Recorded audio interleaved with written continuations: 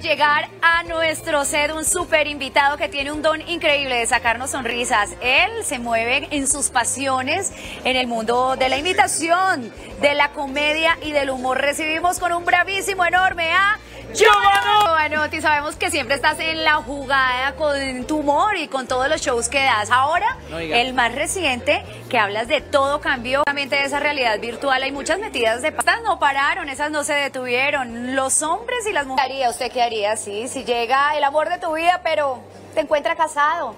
Ay, tengo, tengo muchas preguntas para usted, alcaldesa. Ah, ah, ah, perdón que estoy un poquito disfónica, pero alcaldesa, ¿qué piensa usted de la pro? Que como tú trabajas por días, eh, algo que se enfrente Juan Diego Alvira, ¿sí?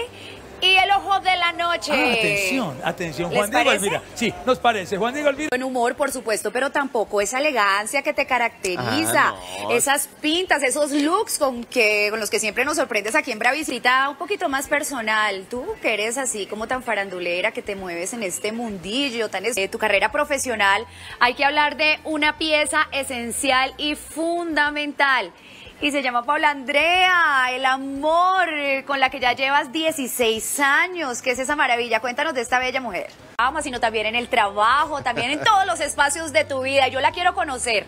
Yo la quiero conocer ya. ¡Que entre, Paula Andrea! Aquí está Paola, no puede ser. Bien, que miren lo divertido que viene con este mensaje de seguridad. Échele ojo que agendes a toda la familia Bravísimo para que no se pierda FBI. Creo que sí, este